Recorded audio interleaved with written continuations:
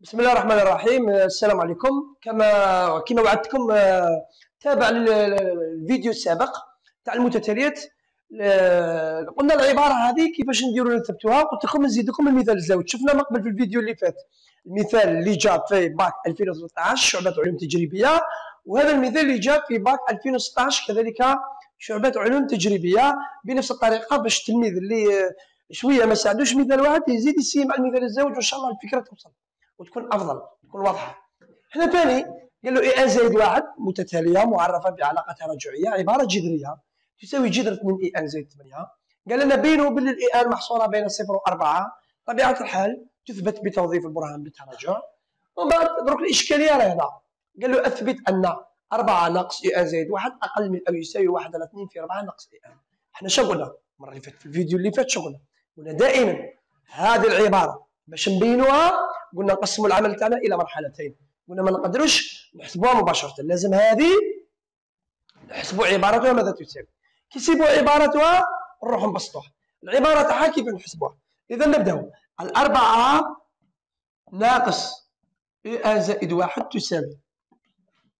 أربعة ناقص. في مكان اي ان زائد واحد نعوضوها بعبارتها. جذر اثنان اي ان زائد ثمانية. وقلنا دائما العبارات الجذرية كي نبغوا نبسطوها. يجب الضرب والقسمه في المنا في المرافق. إذا شت تصبح لنا وتساوي الأربعة ناقص جذر اثنان اي آن زائد ثمانية. في أربعة زائد جذر اثنان اي آن زائد ثمانية. الكل على أربعة زائد اثنان جذر اثنان اي آن زائد ثمانية. إذا راح نتحصلوا على متطابقة شهيره من الشكل ا ناقص ب في ا زائد ب لما نشر المتطابقة تاعنا تصبح لنا جماعة 4 ناقص إي إن زائد 1 تساوي هنا مربع الأربعة هو 16 ناقص لما نربع العبارة الجذرية يروح الجذر. تصبح لنا ناقص 2 إي إن ناقص 8 الكل على 4 زائد جذر 2 إي إن زائد 8 إذا تصبح لنا 4 ناقص إي إن زائد 1 تساوي 16 ناقص 8 16 ناقص 8 8 ناقص 2 اي ان الكل على 4 زائد جذر 2 اي ان زائد 8 شو قلنا؟ قلنا دائما التلميذ لما يحسب قلنا العدد اللي مضروب في ال U n هو الذي يستخرج كعامل مشترك اللي هو هنا 2 مثلا. استخرج 2 اصبح لنا الأربعة ناقص ال U n زائد 1 تساوي لما نستخرج 2 قال يا أربعة. ناقص آن الكل على أربعة. زائد اثنان عفوا. زائد جذر اثنان U n زائد ثمانية. إذا هذه هي العبارة اللي لازم نوصلوا لها اللي هي عبارة أربعة ناقص U n زائد واحد. قلنا دائما كي تحسبوها كي خرج عامل مشترك العبارة اللي نسيبوها بين قوسين هي أربعة ناقص U n هي نفسها أربعة ناقص U n اللي راح يعني في العبارة المراد إثباتها. إذا دروك نروحوا حنا عوضنا نثبتوا ذي نثبتوا ذي لأنهما عبارتين متساويتان. هذا مكان. كيفاش نديروا نثبتوها؟ بطريقة متباينة. قلنا دائما نقلعوا من هذا الجذر لأنه التلميذ يعلم أنه أي عدد جذري هو أكبر من أو يساوي صفر لأنه عدد موجب. إذا باش لدينا معايا جذر اثنان اي زائد ثمانية أكبر من أو يساوي صفر.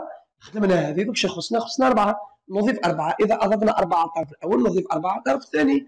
تولي لنا أربعة زائد جذر اثنان إي أن زائد ثمانية. أكبر من أو يساوي صفر زائد أربعة. أربعة. بعد ذلك بما أن العبارة في المقام يجب الضرب في المقلوب. ونحن نعلم أنه لما نضرب طرفي المتباينة في المقلوب الاستدلال ينعكس أو يتغير. إذا تصبح لنا تصبح لنا واحد على أربعة زائد جذر اثنان اي ان زائد ثمانية. عفوا يقلب هذا يصبح أقل من أو يساوي واحد على أربعة. بعد ذلك خلاص خدمنا هذا المقام. خصنا نضرب في اثنان. لما نضرب الطرف الأول في اثنان الطرف الثاني في اثنان. تولي لنا اثنان على أربعة زائد جذر اثنان اي ان زائد ثمانية. عندك أقل من أو يساوي تولي اثنان على أربعة. جماعة كما تلاحظوا باللي العدد اثنان على أربعة هذا قابل للاختزال. معناتها يساوي واحد على اثنان. إذا مباشرة نقدروا نديروا واحد على اثنان. قلنا كي نوصلوا لهنا نحبس. لأن العبارة اللي بين قوسين نضرب الطرفين فيها.